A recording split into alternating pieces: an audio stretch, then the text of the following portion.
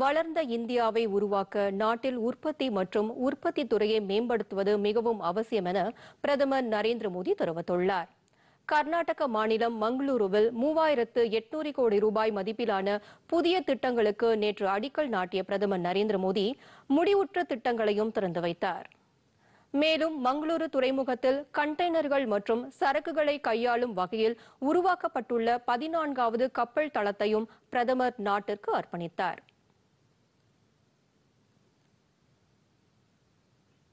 இது தவிர Mangaluru Pedro chemicals மற்றும் எண்ணெய் சுத்திகரிப்பு ஆலைக்கும் குலாய் என்ற இடத்தில் மீன்பிடி துறைமுகத்திற்கும் பிரதமர் அடிக்கல் நாட்டினார். விழாவில் பேசிய பிரதமர் நரேந்திர மோடி கடந்த எட்டு ஆண்டுகளில் துறைமுகம் சார்ந்த வளர்ச்சிக்கு மத்திய அரசு முன்னுரிமை கொடுத்து வருவதாக கூறினார். இதன் மூலம் ஏற்றுமதி இறக்குமதி உள்ளிட்ட பணிகள் எளிமையாக அமைந்து வருவதாகவும் பிரதமர் குறிப்பிட்டார். வளர்ந்த இந்தியாவை உருவாக்க உற்பத்தி மற்றும் நாட்டின் உற்பத்தி துறையை மேம்படுத்துவது மிகவும் அவசியம் என பிரதமர் தெரிவித்தார். சுற்றுலாத்துறை வளர்ச்சி அடையும் போது நாட்டின் குடிசை தொழில்கள் கைவினை கலைஞர்கள் சிறு வியாபாரிகள் மிகவும் பயனடைவார்கள் என்றும் பிரதமர் கூறினார்.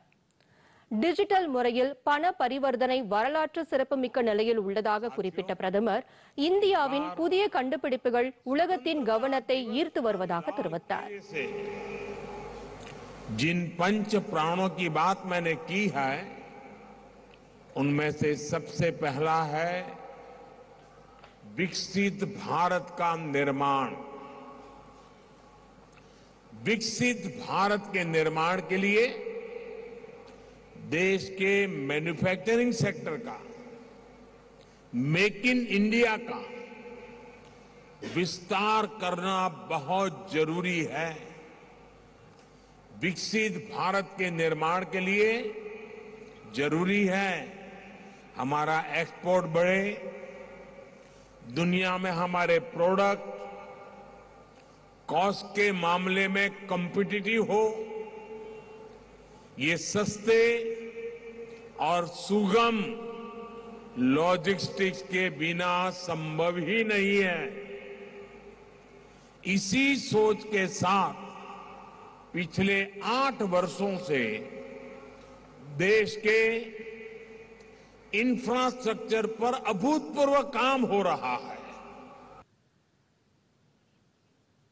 முன்னதாக கேரள மாநிலம் கொச்சியில் நடைபெற்ற விழாவில் உள்நாட்டிலேயே உருவாக்கப்பட்டுள்ள கடற்படையின் மாபெரும் விமானம் தாங்கி கப்பல் ஐஎன்எஸ் விக்ராந்தை பிரதமர் நரேந்திர மோடி நாட்டிற்கு அர்ப்பணித்தார் இந்திய கடற்படைக்கென வடிவமைக்கப்பட்டுள்ள புதிய கொடி மற்றும் சின்னம் ஆகியவற்றை விழாவில் பிரதமர் அறிமுகம் செய்து வைத்தார் விழாவில் உரையாற்றிய பிரதமர் நரேந்திர மோடி பாதுகாப்பு துறையில் தற்சார்புக்கு வழிவகுக்கும் வரலாற்று முக்கியத்துவம் வாய்ந்த நிகழ்வில் பங்கேற்றுள்ளதாக பெருமிதம் தெரிவித்தார் ஐஎன்எஸ் விக்ராந்த் போர்க்கப்பல் உலக அளவில் இந்தியாவின் வலிமையை பறைசாற்றுவதாக அமைந்துள்ளது என்று பிரதமர் குறிப்பிட்டார் युद्धपोत नहीं है ये 21वीं सदी के भारत के परिश्रम, प्रतिभा, प्रभाव और प्रतिबद्धता का प्रमाण है।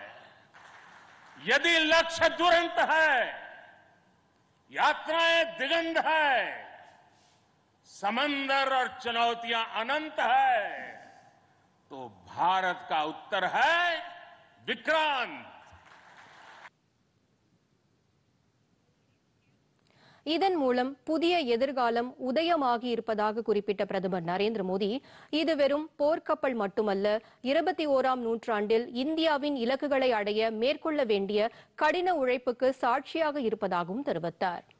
விழாவில் மத்திய அமைச்சர்கள் ராஜ்நாத் சிங் சர்பானந்த சோனாவால் கேரள ஆளுநர் ஆரிஃப் முகமது கான் முதலமைச்சர் பினராயி விஜயன் உள்ளிட்டோர் கலந்து கொண்டனர்.